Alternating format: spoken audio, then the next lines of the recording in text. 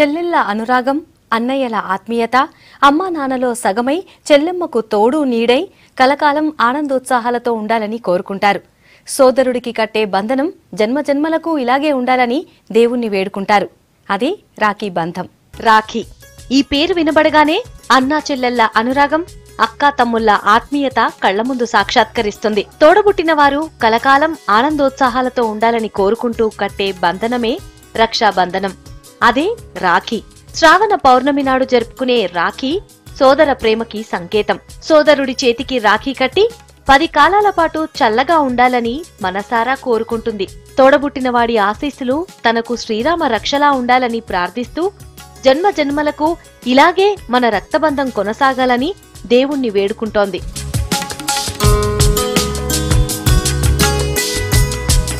రక్షాబంధన్ అనేది ఓ పవిత్ర బంధం. సోదరి కట్టే రాఖీ సోదరుడిపై గల అమితమైన ప్రేమకు ఓ తీపి గుర్తు.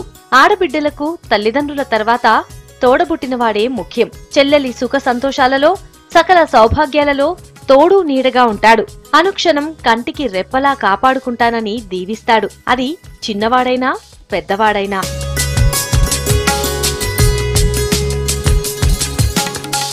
రాఖీలలో కూడా ఎన్నో భావాల్ని తెలియచెప్పే రాఖీలు ఉంటాయి. నిజానికి రాఖీ కట్టేందుకు తోబుట్టువే అవసరం లేదు. సోదర భావంతో మెలిగే ఎవరికైనా రాఖీ కట్టొచ్చు. దీన్ని ఓ ఆచారంగా చాలా కాలం నుంచి పాటిస్తూ వస్తున్నారు. అయితే ఎంతో పవిత్రమైనదిగా భావించే ఈ రక్షాబంధన్ కాలంతో పాటు మారిపోయింది. మారుతున్న సంప్రదాయాలకు అనుగుణంగా పండగని జరుపుకుంటున్నారు.